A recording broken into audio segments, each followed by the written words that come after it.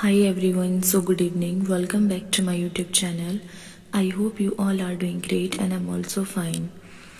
So today's topic about principle of compression machine कि जो आपकी कंप्रेशन मशीन है वो कौन से प्रिंसिपल के ऊपर वर्क करती है पिछले टॉपिक में हम लोगों ने डिस्कशन किया था कंप्रेशन मशीन के जो पार्ट्स होते हैं कौन कौन से पार्ट्स होते हैं कंप्रेशन मशीन में उसके बारे में तो आज मैं आपको बताऊँगी कि आपकी जो कंप्रेशन मशीन है, वो कौन सी प्रिंसिपल के ऊपर वर्क करती है और कैसे करती है।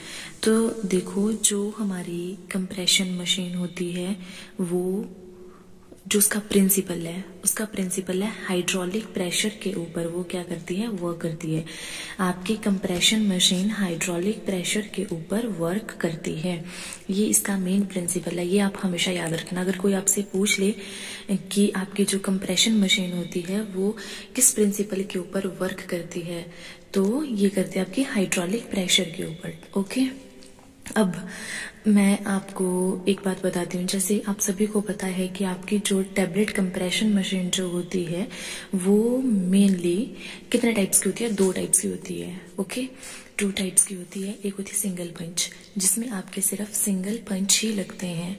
और दूसरी हो गई आपकी रोटरी कंप्रेशन मशीन जो आपकी मल्टी पंच कंप्रेशन मशीन भी बोलते हैं।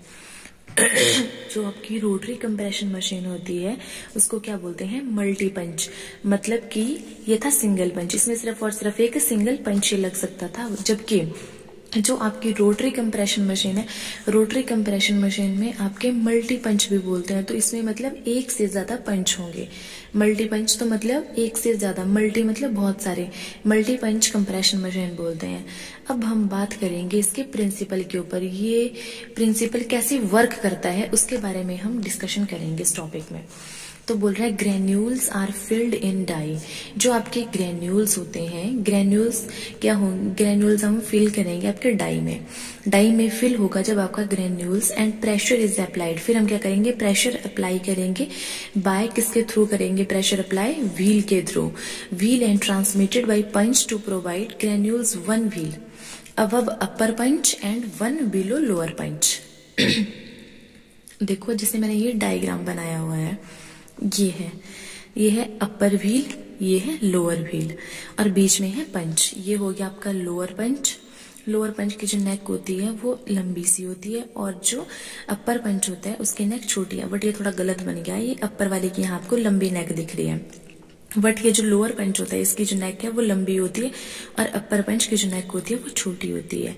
जो लोअर पंच है, उसकी नेक इसलिए लंबी होती है क्योंकि ये जो, क्या करेगा इजेक्ट करता है टेबलेट को।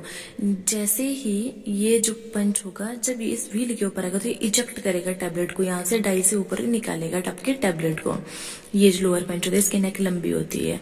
और मैं देखो, आपको थोड़ा और बताती हूँ। ये जो अपर व्हील होता है, ये होता है freely movable free to rotate ये बहुत फ्रीली रोटेट करता है। जब पंच इस व्हील के नीचे आएगा, तब ये व्हील रोटेट करेगा। और ये जो नीचे वाला जो व्हील होता है, ये व्हील आपका बिल्कुल फिक्स रहता है। और ये कैसे? क्लॉकवाइज ऐसे। ऐसे क्लॉकवाइज घूमते हैं, ऐसे क्लॉकवाइज जब हम इस नोब को घुमाते हैं, जब इस क्लॉक को नोब इस, जब इस नोब को हम क्लॉकवाइज घुमाएँगे, ऐसे को तो जो आपका वेट है, जब इसको क्लॉकवाइज ऐसे घुमा रहे हैं तो क्या होगा? क्लॉकवाइज घुमाने से जब हम इसको ऐसे घुमाएँगे तो क्या होगा कि ये जो इसकी जो नेक है, ये थोड़ा नीचे नीचे आएगी और इस डाई में ज़्यादा पाउडर फिल होगा। जब ज़्यादा इसमें पाउडर फिल होगा तो इसका जो वेट है, वो वेट भी बढ़ जाएगा। और जब इसको हम बैक एंटी क्लॉकवाइज घुमाएँगे, इसके मतलब अपोजिट घुमाएँगे। जब अपोजिट घुमाएँगे तो ये क्या करेगा, ये जो लोअर है, ये ऊपर की तरफ़ हो जाएगा। इट मीन्स उस टाइम क्या होगा वेट होगा। जो टेबलेट का वो वेट कम होना स्टार्ट होगा। तो उस टाइम वेट कम कम होगा। और जब हम इसको क्लॉकवाइज घुमाते हैं तो हमारी जो हार्डनेस होगी, वो क्या होगी? रिड्यूस होगी। जब एंटी क्लॉकवाइज घुमाएँगे तो इसकी जो हार्डनेस है, वो क्या होगी? बढ़ जाएगी इंक्रीज होगी। तो ये कुछ थे हमारा, ये जो प्रिंसिपल है, ये ऐसे कुछ वर्क करता है। पंच इस वाले, ये जो व्हील दिख रहा है, इस व्हील के जब नीचे आएगा, इस व्हील के जब नीचे आएगा तो क्या होगा, ये जो व्हील है, ये रोटेट करेगा। और ये जो नीचे वाला जो व्हील होता है, ये आपका बिल्कुल फिक्स रहता है, ये घूमता नहीं है। ये कुछ इस प्रकार हमारा प्रिंसिपल था कंप्रेशन मशीन का। अब थोड़ा अगर बताती हूँ, थोड़ा और डीप में तो मान लो, जैसे ये आपका हॉपर है। हॉपर में हम क्या करेंगे? पाउडर फिल करेंगे। यहाँ आपने पाउडर डाला। पाउडर यहाँ से नीचे गया। यहाँ से जा रहा है, एक फ्लो के साथ जा रहा है। यहाँ से पाउडर जा रहा है। तो जब यहाँ से आपका पाउडर गया तो वो गया टरेट पर। टरेट के ऊपर यहाँ एक फ़ीड फ्रेम लगा है। ये जो दिख रहा है, ये फ़ीड फ्रेम है। ये फ़ीड फ्रेम होता है। इस फ़ीड फ्रेम में थोड़े थोड़े हमारे मान लो ये आपके फ़ील्ड फ्रेम है। यहाँ ऊपर से देखो ये हॉपर का है, ये वाला, ये जो दिख रहा है, यहाँ से पाउडर आ रहा है। जैसे ये पाउडर यहाँ से आ रहा है, सबसे पहले पाउडर जाएगा इसमें। सबसे पहले थोड़ा सा पाउडर इधर नीचे डाई है। थोड़ा सा पाउडर यहाँ से डाई में जाएगा। फिर जब ऐसे घूमती है मशीन तो घूम रही है ऐसे। थोड़ा सा पाउडर यहाँ से लेगी डाई, थोड़ा सा यहाँ से लेगी डाई। फिर जो मैंने आपको बताया टेल ओवर डाई। ये जो आगे प्लेन सा रहता है, ये बिल्कुल ऐसे साफ़ करती है उसको, ताकि जो आपकी डाई है, उसमें अगर एक्स्ट्रा पाउडर होगा तो वो एक्स्ट्रा पाउडर क्या हो जाएगा? वहाँ से रिमूव हो जाएगा। है ना? तो ये कुछ इसका वर्किंग रहती है। अब मैंने बताया, ये फ़ीड फ्रेम लगा होता है, यहाँ से फीडर के फीडर पर आपका जो टैबलेट है वो जाएगी। फिर क्या होगा? यहाँ पर यहाँ पर होगा फिर ये पंच। आगे आ गया, फिर इस, ये जो पंच था, इस पंच के ऊपर ये व्हील लगे रहते हैं। एक व्हील ये होता है, एक नीचे होता है व्हील फिर ये जो व्हील होता है, ये रिमूव करेगा। इस व्हील के नीचे जब ये पंच आएगा तो ये घूमेगा। ऐसे नहीं घूमता, ये ऐसे घूमता रहता, नहीं। जब ये पंच इस व्हील के नीचे आएगा, तभी ये व्हील घूमेगा। तो ये कुछ वर्किंग रहती है आपके कंप्रेशन मशीन की। मैंने बताया हाइड्रोलिक प्रेशर के ऊपर वर्क करता है।